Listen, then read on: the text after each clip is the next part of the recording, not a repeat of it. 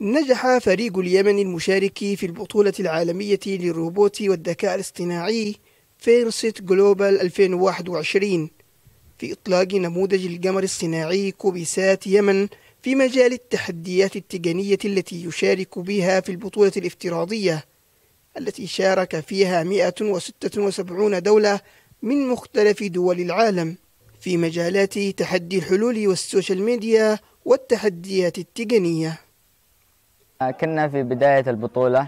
كان الفريق منفصل إلى نصفين. فريق في محافظة عدن وفريق في محافظة حضرموت.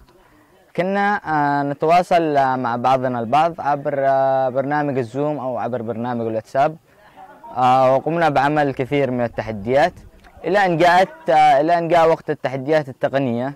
واضطرنا أن نسافر من عدن إلى حضرموت لكي يجتمع الفريق.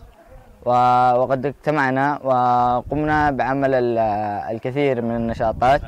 رغم الصعوبات التي واجهها خاصة في ظل الظروف السيئة التي تعيشها البلاد تصدر فريق بلادنا جدول الترتيب منذ انطلاق البطولة خلال العشرة أسابيع الماضية.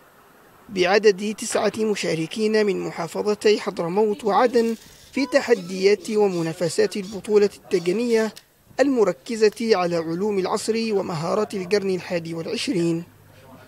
واجهنا العديد من المشاكل في عملية إرسال ال kit والأدوات الهندسية إلى دولة اليمن. فمن الولايات المتحدة مرت عبر سلطنة عمان إلى محافظة حضرموت في دولتنا.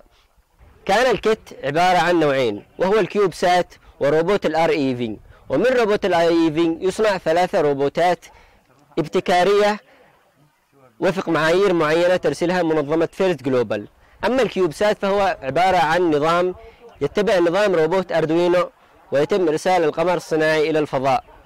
مشاركة فريق بلادنا تحت إشراف قسم الروبوت بقطاع التعليم بوزارة التربية والتعليم وأكاديمية الموهوبين بمدينة سيئون ممثل منظمة FIRST Global في اليمن.